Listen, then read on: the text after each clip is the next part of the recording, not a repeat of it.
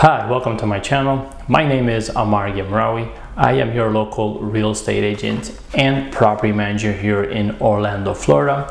I want to share with you today this week's market watch. We're in week 25 of the year. And as always, we are going to cover the sales and rental portions of the market. Now, before I go on with the summary, I do want to wish you a happy Father's Day to all the fathers out there. Hope you had a wonderful weekend and enjoyed your day. Now, in terms of sales for the last week, uh, we saw that we had 1,005 new listings that hit the market. 1,607 are pending, which means they are under contract.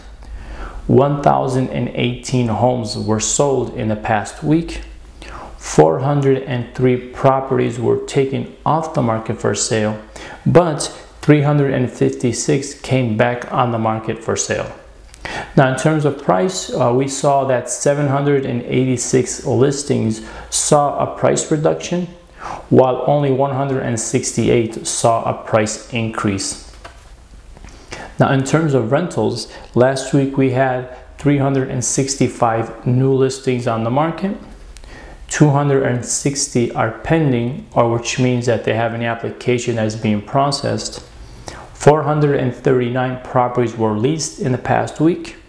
233 were taken off the market as rentals, but 50 of those came back on the market for rent. Now, in terms of rental prices, 206 saw a reduction in the rent price, while 45 saw an increase in the rental price. This concludes this week's uh, Market Watch.